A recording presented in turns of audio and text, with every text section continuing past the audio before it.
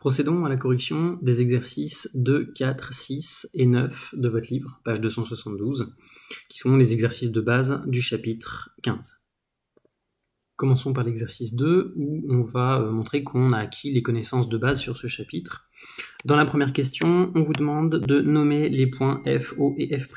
Donc le point F qui est ici, c'est le foyer objet, le point O, c'est le centre optique de la lentille, et le point F', c'est le foyer image. Ensuite, en question 2, on vous demande de mesurer la distance focale de cette lentille, qui se note petit f'. Par définition du cours, c'est la distance entre O et f', donc c'est cette distance ici. Je vais donc utiliser l'échelle qui est donnée là, et je constate, eh bien, c'est cette partie-là surtout qui m'intéresse, un grand carreau comme ça fait 1 cm. Alors ça ressort mieux sur votre feuille, mais vous voyez que si je pars de haut, il y a un grand carreau, deux grands carreaux, trois grands carreaux. Donc j'ai une distance focale f' qui vaut 3 cm, 3,0 si je veux dire, si je veux donner un résultat plus précis. Donc une distance focale f' de 3 cm pour cette lentille. Et je vous invite dans la foulée à faire cet exercice 3, l'exercice qui suit. Passons à l'exercice 4, où on vous demande, eh bien, dans la première question, de donner les propriétés des trois rayons ayant permis de construire l'image A'B'. Donc on a un objet AB qui est placé devant une lentille convergente. L'image A'B' se forme ici, et donc on demande de rappeler euh, les trois euh, règles ou les trois propriétés. Vous retrouvez ces propriétés, page 263 de votre livre, dans le cours.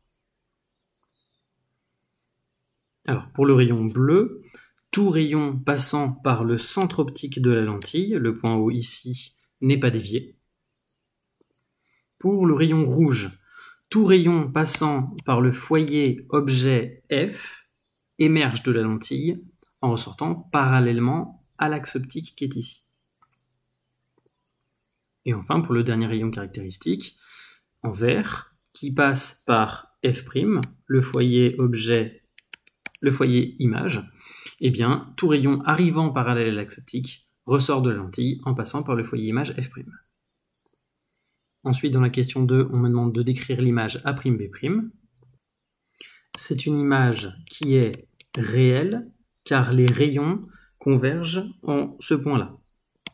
Deuxièmement, c'est une image qui est renversée par rapport à l'objet, vous voyez, A'B' est comme ceci, donc dans un sens, euh, dans le sens contraire de AB. Donc l'image est renversée. Et enfin, on constate ici que dans cette situation, l'image est plus petite que l'objet.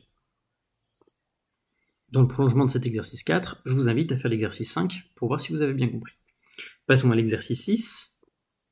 Dans cet exercice, on va calculer un grandissement on a le schéma qui est donné avec la représentation d'un objet, de son image, et euh, donc l'image formée par la lentille convergente. Par contre, ici, on n'a pas les rayons lumineux qui sont tracés. Dans la première question, on vous demande d'exprimer la valeur absolue du grandissement à l'aide des notations du schéma. Le grandissement qui se note gamma, ou plutôt sa valeur absolue, eh bien, d'après le cours, on a vu que c'était A'B' sur AB. C'est bien une notation de l'énoncé. A'B', la taille de l'image, et AB, la taille de l'objet. Et grâce au théorème de Thalès, on sait aussi que ça vaut OA' sur OA. Maintenant, dans la question 2, on nous demande de déterminer par deux calculs différents la valeur du grandissement. Donc si j'utilise la première partie de cette formule, eh bien la valeur absolue de gamma, ça sera égal à A'B' sur AB. Je vais regarder les distances sur le schéma. En utilisant l'échelle qui m'est donnée ici, je vois que A'B' fait un peu plus qu'un grand carreau, environ un carreau et demi. Donc moi j'estime ici que A'B' vaut environ 1,5 cm. Et de même pour AB, je trouve ici que AB vaut aussi environ 1,5 cm. C'est pas forcément évident à voir, surtout à l'écran, mais vous, ça ressort un peu mieux sur votre feuille. Donc avec ces valeurs, j'ai que gamma vaut 1,5 cm sur 1,5 cm. Plutôt valeur absolue de gamma. Donc gamma vaut 1. 1,0 avec deux chiffres significatifs. Première façon d'obtenir le résultat. Pour la deuxième façon, on sait aussi que euh, valeur absolue de gamma est égale à OA' sur OA. Donc je vais mesurer sur le schéma la distance entre O et A' et entre O et A. Alors quand on regarde sur votre livre pour lequel on voit mieux, on voit qu'il y a 6 grands carreaux, donc ça veut dire que OA' vaut 6 cm, 6,0 cm. Et pareil pour OA, 6 carreaux, donc 6 cm. Donc le calcul donne 6,0 divisé par 6,0, on retrouve bien 1,0. Voilà. Cet exercice permet euh, de calculer le grandissement, de savoir ce que c'est, et euh, de se rendre compte euh, qu'il y a deux façons de le calculer, il y a deux, formules en fait. dans ce cas-là, vous voyez que le grandissement donc en valeur absolue vaut 1, c'est-à-dire que l'image est de la même taille que l'objet. Et pour finir, corrigeons l'exercice 9. Alors on va faire le 8 dans la foulée. On retrouve euh, les éléments réels de l'œil et puis les éléments du modèle euh, de l'œil réduit. Je rappelle que l'iris, on peut le modéliser par un diaphragme, les milieux transparents par une lentille convergente, et enfin la rétine par un écran. Pour ce qui est de l'exercice 9, première question, on vous demande pour une vision nette où doit se former euh, l'image d'un objet dans l'œil. Hein, je vous rappelle qu'on voit net un objet quand il se forme sur la rétine de l'œil. Ensuite, question 2. Quel élément de l'œil permet de réguler l'entrée de la lumière? Eh bien, c'est l'iris, d'accord? L'iris, qui joue le rôle d'un diaphragme.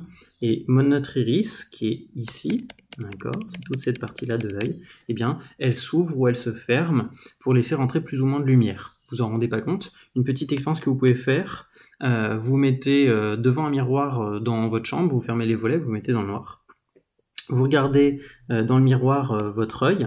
Alors dans le noir, vous ne verrez pas grand-chose, mais vous laissez une, petite pénombre. Et vous allumez la lumière. Et d'un coup, vous allez voir votre iris qui va se refermer très rapidement. Et je vous ai mis un lien vidéo, vous pouvez aller voir là-dedans, dilatation de l'iris. Dernière question, quel est le rôle de l'ensemble des milieux transparents de l'œil? Les milieux transparents de l'œil hein, jouent le rôle d'une lentille convergente et vont dévier les rayons lumineux de manière à ce qu'une image se forme sur la rétine. Voilà pour la correction de ces exercices. Eh bien, je vous invite à passer aux exercices un peu plus compliqués. Ça vous a permis de, tester, de voir si vous euh, connaissiez bien les, les éléments principaux du cours. Et donc ensuite, vous pouvez passer à l'exercice 10.